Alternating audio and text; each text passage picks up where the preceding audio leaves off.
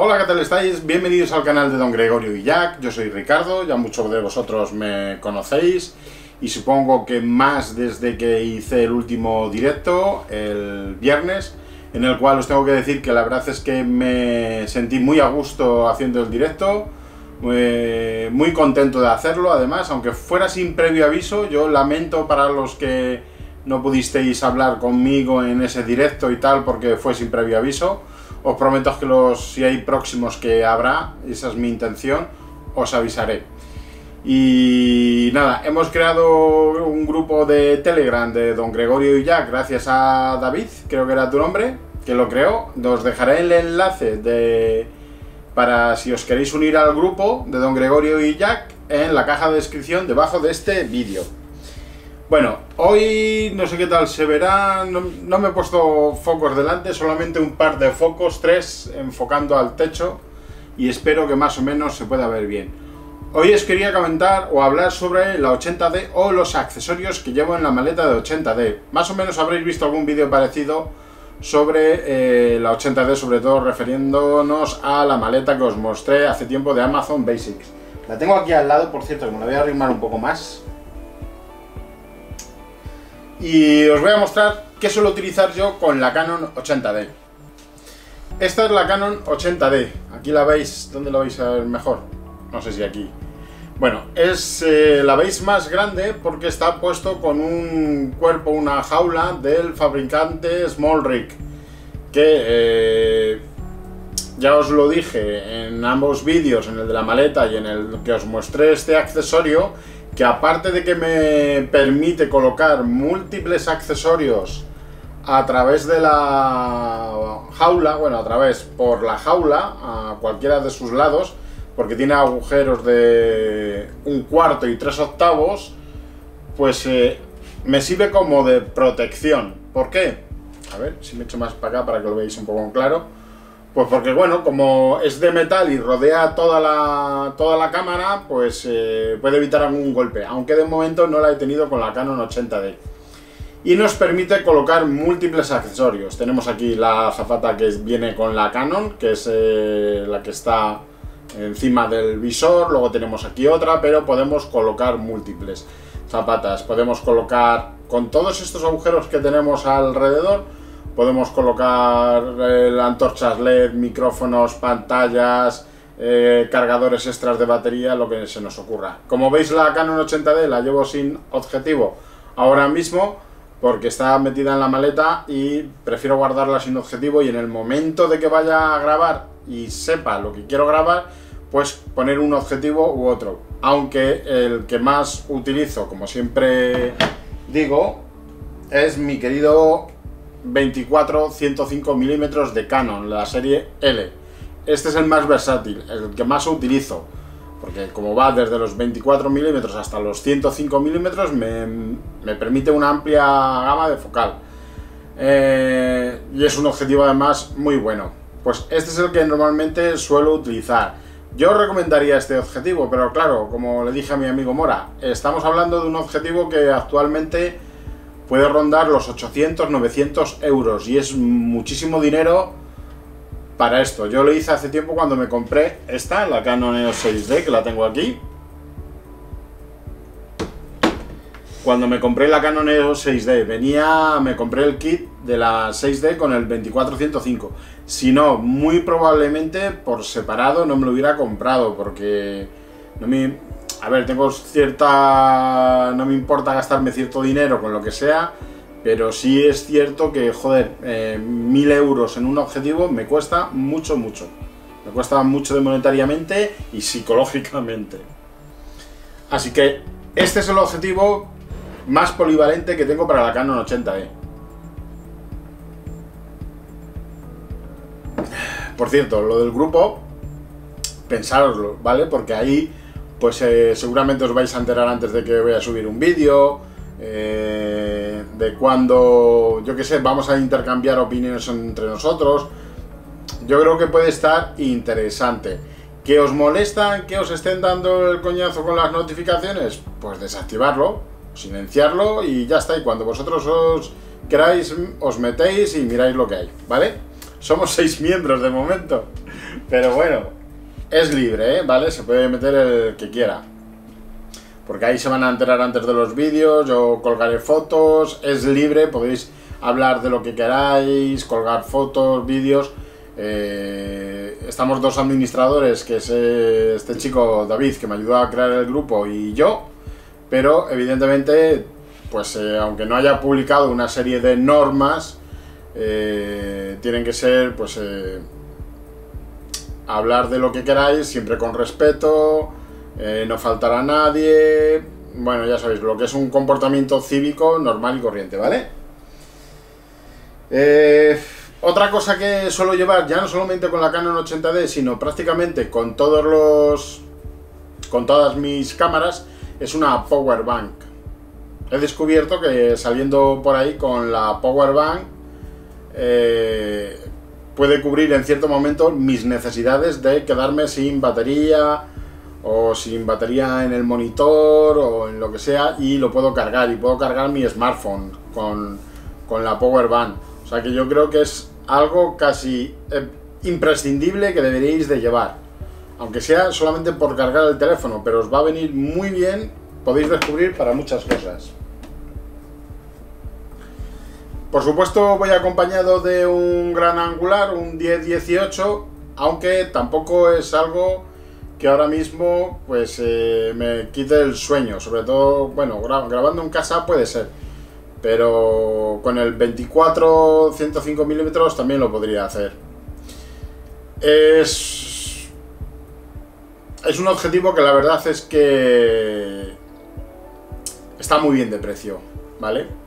Lo podéis comprar en Amazon, como siempre os pondré el enlace de todo si puedo en la caja de descripción y ya sabéis, sobre todo para grabar en el interior o para grabar en el exterior o fotografía o arquitectura, cosas de estas, un gran angular como un 10-18 os puede venir muy bien. Efectivamente, como muchos de vosotros pensaréis, cuanto más eh, eh, luminoso sea, pues más caro va a ser. Y si en vez de ser este normalito es eh, de la serie L, pues va a ser más caro. No sé si se me verá muy oscuro, si no, pues lo lamento, que no me he puesto focos y para la próxima intentaré que no sea así. 50 milímetros, probablemente de los que menos use para grabar vídeo con la 80D.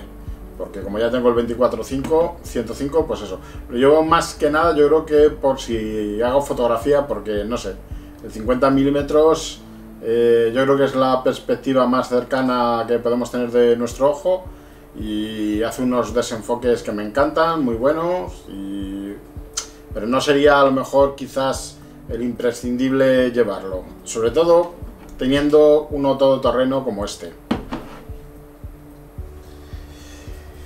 Y este es un Zoom, un 55-250. Mm,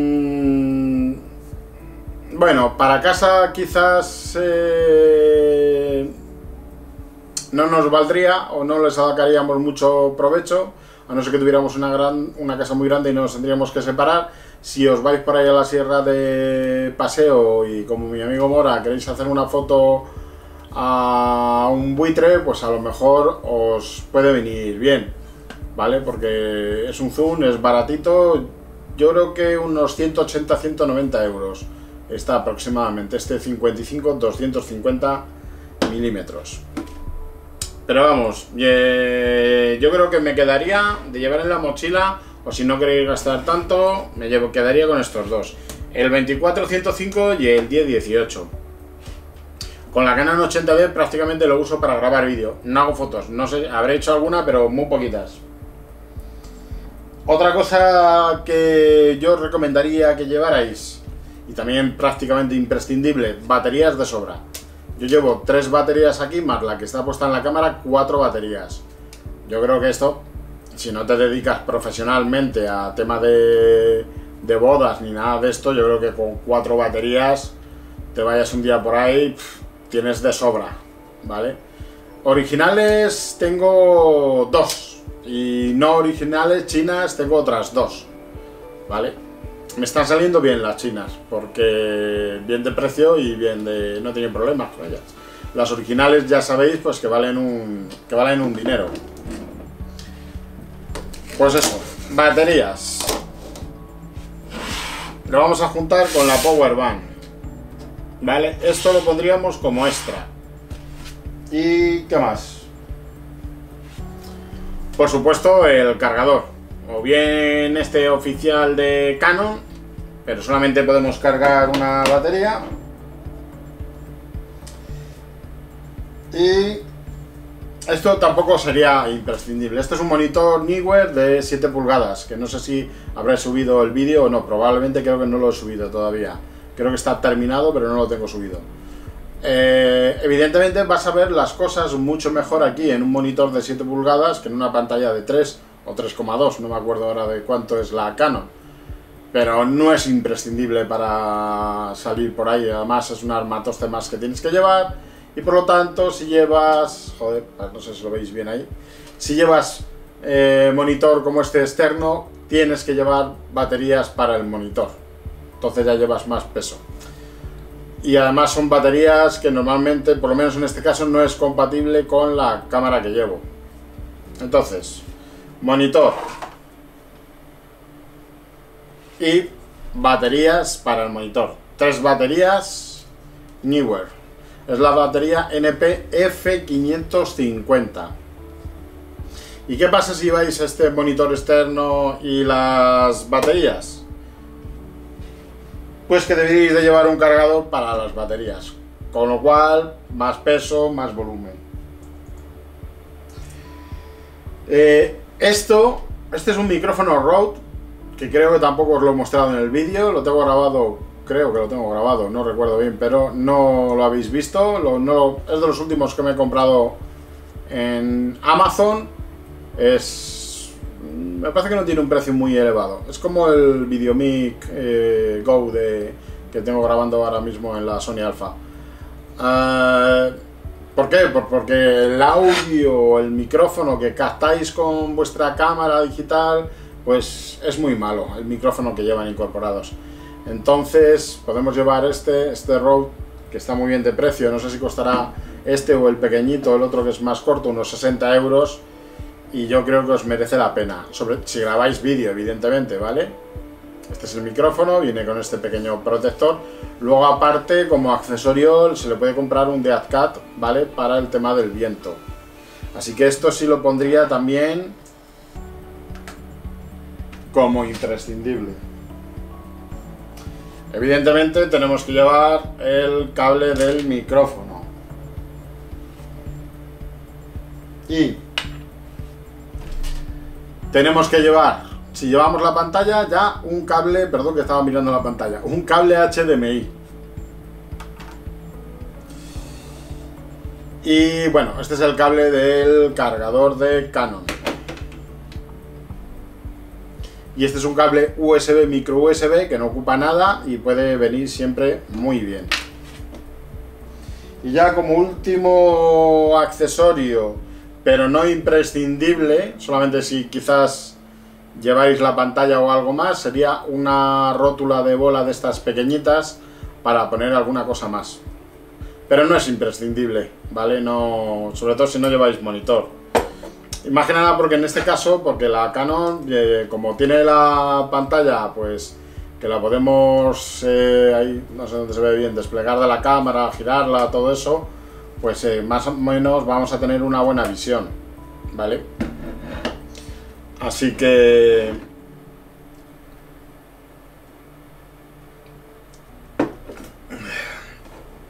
Por ejemplo, no os habéis dado cuenta que también deberíamos de llevar un cargador para las NPF 550. Pero no lo llevo porque considero que con tres baterías es más que suficiente para el monitor. Así que todo esto sería como un poco extra. ¿Vale?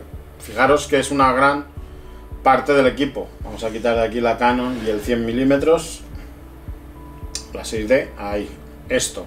Estos serían los accesorios prescindibles quizás de la 80 de que llevo en mi maletín. Pero bueno, como me gusta tenerlo todo guardado en el mismo espacio, por eso llevo todo. Pero si saliera por ahí, pues a lo mejor con esto, con esto seguramente es suficiente. Incluso si solamente llevara el micrófono, La jaula la podría quitar, aunque la jaula, pues ya os he dicho que de protección viene bien. Se incrementa evidentemente ligeramente un poco el peso, el peso del aluminio de la jaula, pero muy poquito, ¿vale? Es parece que un poco más ortopédica de manejar, ¿vale? Más eh, llegas como un poco, parece con más dificultad a los controles, pero no es así. Están liberados y llegas con los dedos sin ningún problema. Es cuestión de acostumbrarse. Así que con la 80D, el 2405, baterías extra, incluso el 1018, un micrófono y claro, la Power Band, si a lo mejor no nos llevamos el monitor ni nada de esto, también la podríamos eliminar, ¿vale? Pero esto es, todo esto es lo que yo llevo en mi maletín de la Canon EOS 80D. Espero que el vídeo, pues eh, no lo sé, os haya podido valer o inspirar o a lo mejor decir, ah, mira, pues esto sería bueno tenerlo o no. Si tenéis cualquier duda sobre lo que habéis visto, pues me podéis preguntar como siempre. Y os recuerdo lo del grupo de Telegram de Don Gregorio y Jack por si os queréis unir al grupo y queréis que hablemos y aprendamos entre todos de estas cosas. Así que nada más, daros las gracias como siempre por estar ahí, la bienvenida a los nuevos suscriptores Espero que el vídeo os haya gustado o al menos os haya entretenido. Nos vemos en el próximo vídeo. ¡Chao!